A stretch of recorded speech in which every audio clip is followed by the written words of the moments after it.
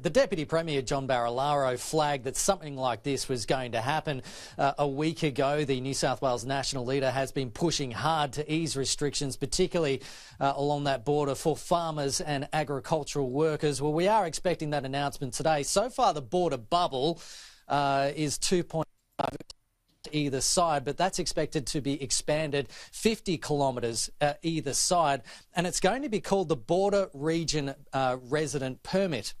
Now, what it's going to allow people to do is cross the border within that 50 kilometre zone uh, either side and not have to go into quarantine. Uh, the government says that they're able to do this because community transmission rates across regional New South Wales uh, has remained low and they do want to ease the pressure and the inconvenience uh, on these border communities. Now, what it actually means is that uh, the new permit will allow a resident within the border region to enter New South Wales for the following reasons only to obtain necessary goods or services, to attend work or obtain educational services where it's not reasonable to do so uh, in their own state.